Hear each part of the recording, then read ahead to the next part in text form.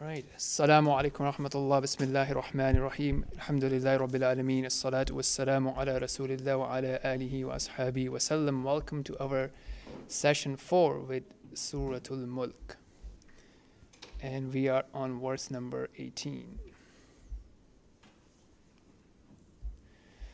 Okay, let's أعوذ بالله من الشيطان الرجيم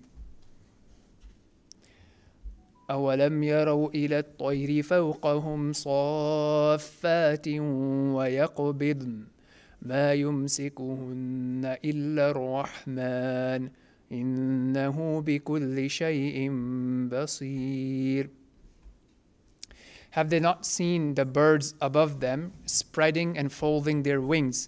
None holds them except the most compassionate. Indeed, he is all seeing of everything. So, just reflecting on this, an idea is that when we are doing reflection, one of the things that we are focusing on is not the academics, not the the beauty of the words, the connection with the previous ayats, and so on and so forth, but rather trying to make the reflections as practical as possible. So, thinking about what actions, what qualities does this ayah reminds me that I can do in my life, or I can do better in my life, and so on and so forth. Does that tell me of any actions, any reminders? Um, the way to think about things, my mindset, how I look at the world, and so on and so forth. Uh, any promise of Allah in this verse, uh, what do I learn about Allah subhanahu wa ta'ala that helps me to have a better understanding of who Allah is and how I should be with the creation of Allah. So, as a quick example, some of the things that I probably wanted to highlight from today's Salah, from Isha, for example, the qualities that were mentioned today was the importance of dua, right? What the Shaykh recited, there were a lot of du'as, and Allah subhanahu wa ta'ala is describing how the believers engage in asking Allah in, in different circumstances. So that's one action. The second quality that was mentioned today in Salatul Isha was about the quality of dhikr, how the believers always remember Allah subhanahu wa ta'ala while standing, while sitting, while lying down, and so on and so forth. So then I, one would ask themselves that how much dhikr do I do? How much remembrance of Allah do I do while I'm scrolling on my phone, while I'm driving, while I'm doing my work, and so on and so forth? How much aware I am of Allah subhanahu wa ta'ala. Uh, another thing that was also mentioned was the concept of the khizi, the humility on the day of judgment. Right? So the believers asking Allah to protect them from the khiz of that day. So that's something also to think about that we think about embarrassing moments in this world, the games, the the soccer's, the business world, what have you, but how would the embarrassment be on the day of judgment? So coming back to this verse, uh, wherever you see Allah subhanahu wa ta'ala talking about his creation, that's a great reminder to think about uh, am I connecting the creation of Allah to the creator? Because we see birds, right? Sometimes we may appreciate the bird, we may appreciate the mountains, the rivers, the, the oceans, and so on and so forth. But am I also connecting it to the creator, the designer of these things? How perfect he is, how powerful he is, all the different nuances of that design, and so on and so forth. And then same thing can also apply on human creation because that's something that's also facilitated by Allah subhanahu wa ta'ala and He is the one who is letting me benefit from those uh, creation. So here Allah subhanahu wa ta'ala is talking about the birds and as a beautiful creation of Allah subhanahu wa ta'ala. And obviously if we if we were to dig deeper, because I've seen some documentaries here and there, but I'm I'm sure that I haven't done enough on that, it talks about how you know smart the birds are in terms of their migration, how capable they are in terms of the long journeys they, they can travel, and so on and so forth. There's so many small details that you can actually learn about the different types of birds if you were to go and look into it. And who created those, those creatures with all the different needs and so on and so forth. So that helps you understand who our Lord is, how powerful He is, how merciful He is, not to just the human beings, but the small birds, the big birds, the larger birds, the, the creation in the sea, and so on and so forth. Um, and the second thing is, obviously, if you, if you think about the aircrafts and the Boeings and what have you, and how, how we appreciate them in their speed and their capacity and capabilities, a lot of that is obviously learned via birds. And not only that, the human minds behind it, the raw materials behind it, and all that is something that's also facilitated by Allah subhanahu wa ta'ala. The attributes that Allah subhanahu wa ta'ala describes and points to in this these verse in this verse is the attribute of mercy. So that tells us about how merciful Allah subhanahu wa ta'ala is. And He's always merciful. That's an attribute that's always there. So the hukum, the ahkam, the rules, the law that Allah subhanahu wa ta'ala has laid down in place for us is not to make things hard for us. Rather, they're also a form of mercy for us as humanity, as society, and for the wider society and for the greater society, uh, greater benefit of the society. These are all from the mercy of Allah subhanahu wa ta'ala. And then lastly, the element that Allah subhanahu wa ta'ala is all seeing. So obviously, you know, we may be careful about when people are seeing us, but how do we behave when we are private in, in front of Allah subhanahu wa ta'ala? Am I also guarding the laws of Allah subhanahu wa ta'ala, the sharia of Allah subhanahu wa ta'ala, uh, or am I only guarding it when I'm around my family or around people and so on and so forth? And uh, that can obviously be expanded to many, many different areas from my worship of Allah, my uh, preserving the ahkam of Allah, the rules of Allah, to the fact that sometime, you know, I may be working hard uh, you may be putting in effort, but you're not seeing the results. People maybe not be appreciating you, the impact you may not see, and so on and so forth. But Allah sees the effort that you put in. And obviously, even for something as simple as you know working on the vocabulary or memorizing Quran, different people would have different level of efforts that they may be putting in. Some people may have to put extra effort just because where they're starting from. And Allah sees that all, and He uh, appreciates that all. So what I'll do is we'll do a few verses and then we'll open up so uh, so that hopefully everyone can share some actionable points on, on the verses that we have covered so far. So next one being أمن هذا الذي هو جند لكم ينصركم من دون الرحمن إن الكافرون إلا في غرور أمن هذا الذي يرزقكم إن أمسك رزقه بل لجوا في عتو ونفور So these two questions, Allah subhanahu wa ta'ala is pointing out a very important question here to, uh, to think about who is it that can protect us against Allah subhanahu wa ta'ala. So if Allah subhanahu wa ta'ala wants to punish a nation or bring some sort of calamity, some sort of a test to a nation, to a group of people, to individuals, then who is it that can actually uh, protect it again protect someone from against allah subhanahu wa ta'ala. So that's something obviously at one extreme you have the kuffar the disbelievers those who oppose allah subhanahu wa ta'ala those who fight allah subhanahu wa ta'ala and you know diminish or try to put down the religion.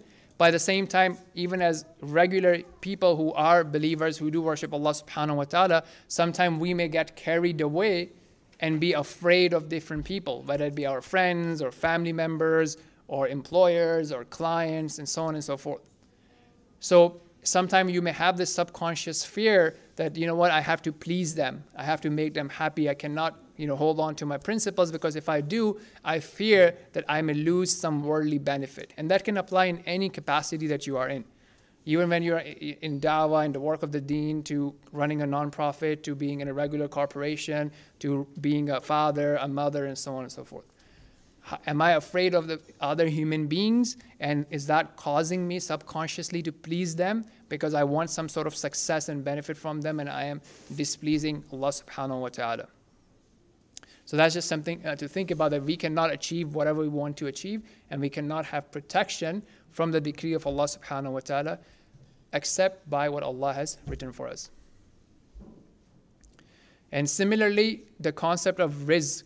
So any benefit, any benefit that Allah has written for us, from some as simple as education, wisdom, skills, finances, children, spouses, happiness, all these are different forms of rizq, whether it be emotional rizq, financial rizq, intellectual rizq, you know, uh, uh capacity and capability, rizq, whatever it is, it's all from Allah subhanahu wa ta'ala. If Allah wants to hold it, then who is it that can actually extend it for you, that can actually make it happen for you? So when people transgress, obviously they're trying to chase something. They're trying to chase comfort, happiness, you know, uh, relationships, and so on and so forth. Trying to chase that while disobeying Allah subhanahu wa ta'ala. So Allah is asking who can extend it for you if Allah prevents that rizq from coming to you. And who can prevent it from coming to you if Allah wants that to happen? So the, the disbelieving ones, the ones who are uh, you know, in their arrogance, in their aversion, they're just continuing in that. However, it does not really uh, benefit them.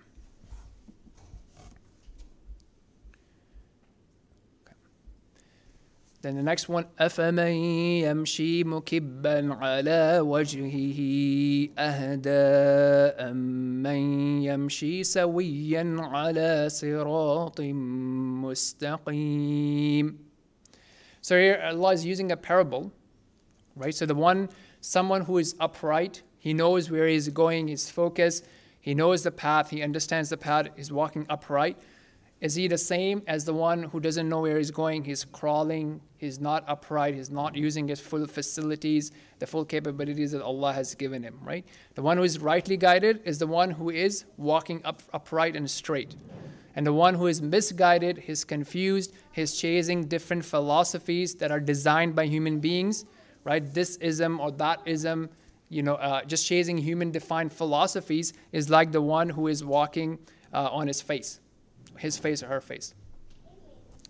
So, the, so that's just that parallel to think about. Like when you are following the guidance from Allah, the value from Allah, the, the culture from Allah subhanahu wa ta'ala, then you have that upright knowledge, the, found, the firm knowledge that is guidance from Allah subhanahu wa ta'ala, or you're just like trying different things. So before we go into the next few verses, inshallah, any uh, any comments, reflections, ideas where how we can apply this in our life? How it can help us think better, do better, habits, qualities. Let's see.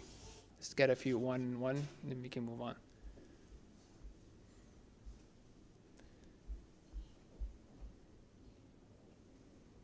You can just repeat what I said too. That will also confirm that it worked. So what, what do you think, right? Um, the qualities or, or the name, how, what, okay, what, what does the name of Allah subhanahu, the, the name, the attribute of Allah is Ar-Rahman. What does that tell you in terms of your life? How can it make you think better or act better with the creation of Allah?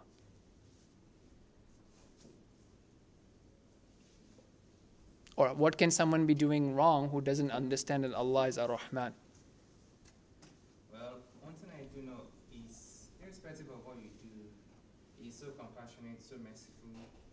Even if you don't deserve those mercies, those blessings, all those rahman, still gives it to you. That's who he is. He's different from men or women or humans. That we keep on holding grudges, counting what you've done for one another. He doesn't do that. He just does what he has to do, irrespective of your relationship with him. Although it is beneficial for you to have a very good one with him.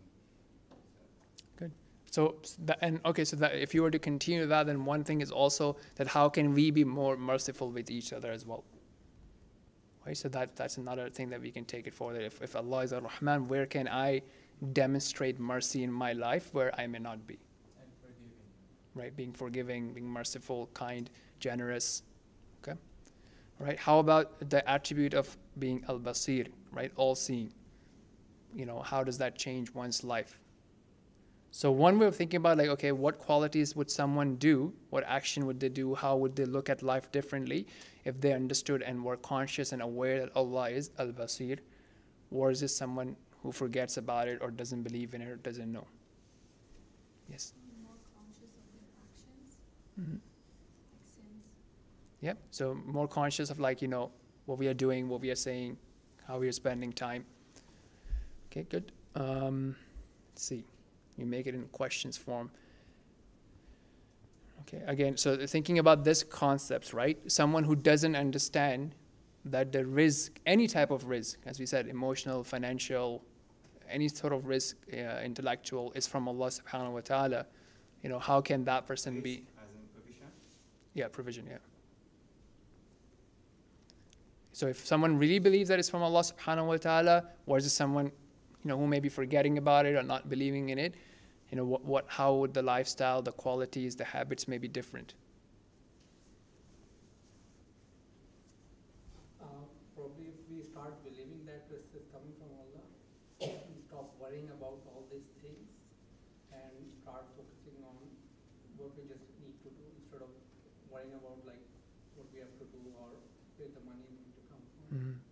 Yes. See, so yes, that, that gives you a different mindset, right? A lot of worries, anxiety can kick in because the lack of tapping into that, that look, it's, it's all written, it's going to be all fine. And then you are focusing on what can I do, right? What am I not doing? What can I do better? What can I do more of? as opposed to, oh, why don't I have this? Why does he have this? Why does she have this and I don't have this? Okay, beautiful. Good. Anyone else? Relying on someone or something to give you those provisions instead of you, you should just ask Allah for it, and of course you have to make steps towards it. But relying on Allah in providing all these things instead of depending on some kind of maybe lottery or some other kind of things like people do to make to get quick money. Just ask Allah, work towards it. True. Yes, I think that's that's a very good reminder, Jazakallah khair, bro. And that that's the concept of dua, right? Because sometimes we have a way less emphasis on dua and talking to Allah, and we may be hustling way more with the human beings, right? Whether it be you know applying for jobs or contracts or clients or investments or selling stuff, which is okay. These are part of the you know the process. However, like what's that sort of balance, right? Do we first go to Allah subhanahu wa ta'ala? Do I actually also, you know, uh, spend time in asking Allah, or is it just hustling and asking human beings? Okay, good, good, good participation. Okay, let's do, I think we can do two more. Yeah, we'll do two more and then we'll do the word by word. قل هو الذي أنشأكم وجعل لكم السمع والأبصار والأفئدة قليلا ما تشكرون قل هو الذي ذرأكم في الأرض وإليه تحشرون So these are really two beautiful verses and I think if we, if we were to be aware of these, this could really make a big difference. Say, O Prophet Sallallahu Alaihi Wasallam, He is the one who brought you into being and gave you hearing, sight, and intellect. Yet you hardly give any thanks. And say, He's the one who has dispersed you, spread you out all over the earth, and to Him you will all be gathered. And that's a you know very summarized and simple way of describing what this life is about and how many people are deluded. So, in this one, that Allah is the one who is our creator and He has actually given us all the facilities and faculties that we have of hearing and seeing and the heart and so on and so forth. And as we saw in the previous worlds, all the rizq we have, all the provision we have is also from Allah subhanahu wa ta'ala. So that's a very, very different mindset than someone actually thinks that, oh, this is mine, this is me, as opposed to thinking that this is from Allah and it's my choice how I use it. Okay? So if I were to give an example, let's say I say, you know what, brother, what do you do? Okay, you, you, you have a job, you're working. Okay, forget your job, I'll give you this much money. You know, you start your own business, provide the service you do, or start up a shop or e-business, whatever. Right? Now the question is you understand that this is the funds that I'm giving you as an investor, what have you, and you are thinking, okay, how I'm going to use it. How, how can I make more money off it, right? That's my intention, right? To grow the business, to have more in, more revenue, what, whatever, right? Or I say, okay, you know what? I'll pay for your school, scholarship, what have you. But now your task is not to worry about the fees, but to get good grades, you know, learn the skills, get the education, and then you know give it out to others. So somebody who understands that that these are the resources that Allah has given me, my time, my life, my faculties, then his thing would be like, how do I use it to please my Creator? And the other mentality that we have is this is mine. I can do whatever I want with my life. I can do whatever I want with my body. I can I just have these, all these choices. That's a different mentality of someone who doesn't get these basic that this is from Allah subhanahu wa ta'ala. And what, what is it that we should do with that is we have to be grateful. And that's something that shaitan actually promised Allah subhanahu wa ta'ala that you will not find most of them grateful. وَلَا تَجِدُ أَكْثَرَهُمْ شَاكِرِينَ That you will not find most of them grateful. So what is gratefulness? What is being grateful means? The scholars have defined it that if you want to understand being grateful, firstly is that you are grateful from your heart. You understand that this is from Allah subhanahu wa ta'ala. It's not because of my hard work, my own efforts, my hustling and my patience and this and that. It is actually from Allah subhanahu wa ta'ala. Second thing, obviously from your tongue as well right? You praise Allah, you thank Allah for what you have. Uh, and then lastly is you use what Allah has given you in Allah's obedience and not in His disobedience. So Allah has given you flexibility, Allah has given you rizq and different provision. You use it to praise Allah, to, be, to, to, to stay in the halal, right? Actually being in the halal and then using it to do the, um, the mustahibbat, right? To do the things that are recommended to grow from there. So that's that's part of being grateful. If you're saying, okay, I can do whatever I want, I'll transgress, I'll do what I feel good about it, what makes me feel good, what makes my friends feel good, then that's a different mentality. And then the point again that Allah is, you know, brought, uh, put us in this earth, spread us around, but to remember that there's an accountability, there's a return back to Allah subhanahu wa ta'ala, and that's where final justice will be committed. So this world is not necessarily a, it's not a place of full justice. So it doesn't mean that people who have more of these resources that Allah loves them more, or the people who don't have it does not mean that Allah loves them less. So you will have you may have some recompense in this world, but the final recompense will only happen on the day of judgment when you're actually going to be returned to Allah subhanahu wa ta'ala. Okay, so talked a lot. Let me hear from you guys on these two. Let's get maybe two and two, and then we'll wrap up and go to uh, Arabic. And as we hear about it, I think there is tea as well. So if you want to grab that, that's fine too. And we can also get some uh, comments as well. So do this transition from reflection to Quranic Arabic. Well. That's that's fine. You, you can just repeat them, and that that at least tells me that okay, it was communicated, right? Or you can give me a different example.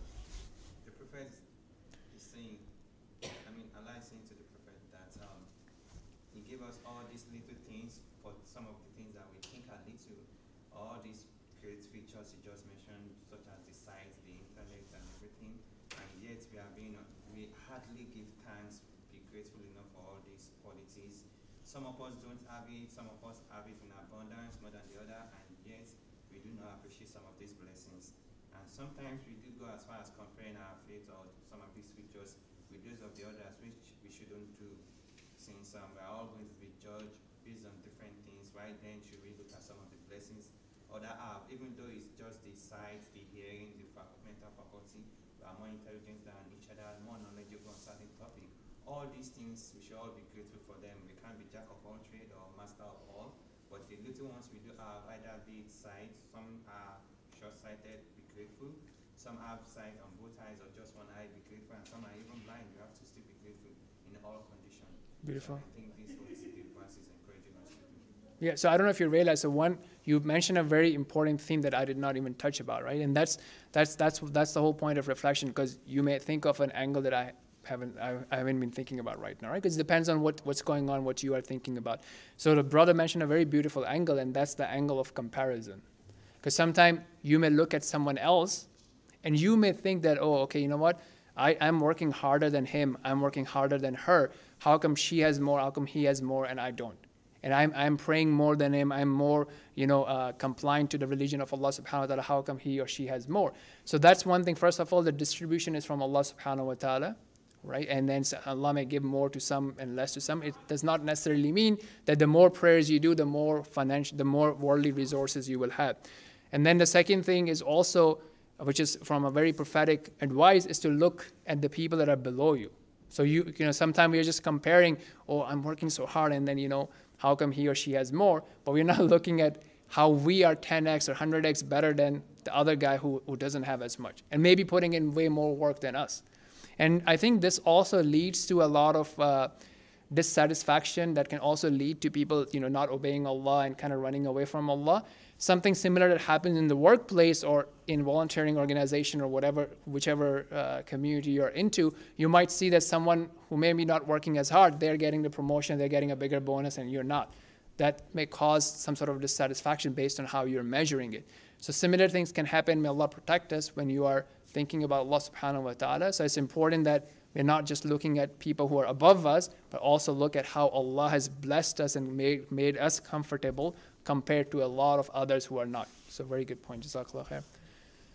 Let's take yes.